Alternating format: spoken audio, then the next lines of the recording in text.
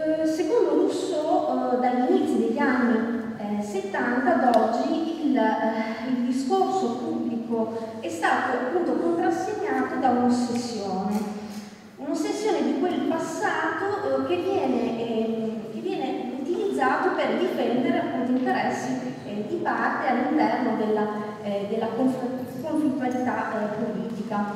Ehm, come noto nel, appunto, nel volume collettaneo l'uso pubblico della storia, che raccoglie alcuni, alcuni dei eh, contributi degli interventi di studiosi riuniti nel 1993 in occasione del, di un convegno organizzato dall'ASIFA, Nicola Gallerano rintraccia le motivazioni eh, all'origine del successo della sintesi egoista.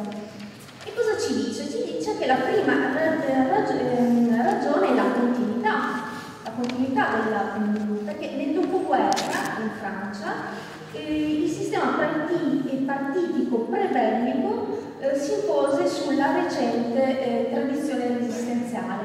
Dunque, contrariamente a Italia e Germania, dove la, la resistenza e, e l'antinazismo furono i capisaldi su cui eh, trasse fondamento il nuovo sistema partitico, in Francia si riscontra, sempre secondo Gallerano, una continuità tra il preguerra e il dopoguerra.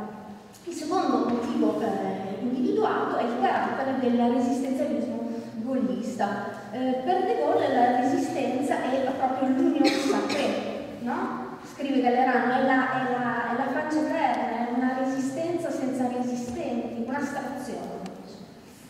Di conseguenza appunto eh, la stagione di, eh, di Vichy venne, venne confinata, mh, viene confinata eh, nell'oblio, come se non fosse mai esistita. Dunque il resistenzialismo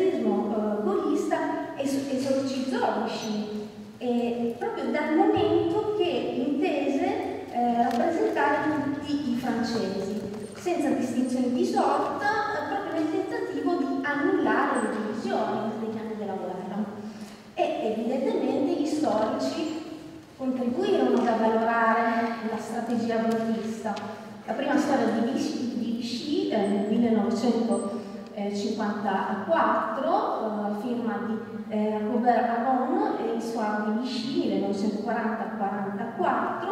eh, non fece che sottovalutare la portata del collaborazionismo con il nazismo, assegnando proprio alla Germania hitleriana la tutta la responsabilità eh, dei crimini eh, di guerra e delle deportazioni degli ebrei.